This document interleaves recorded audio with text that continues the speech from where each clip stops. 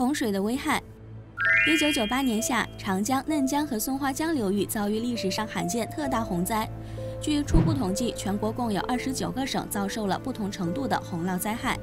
其实，在各种自然灾害中，洪水是最常见且又危害最大的一种。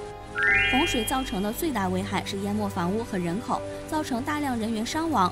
洪水还会卷走人畜居留地的一切物品，造成大量经济损失。此外，洪水淹没农田，毁坏农作物，导致粮食大幅度减产，从而造成饥荒。不仅如此，洪水还会破坏工厂、厂房、通讯与交通设施，从而造成对国民经济部门的破坏。除此之外，洪水灾害还会造成滑坡、泥石流、疫病的出现。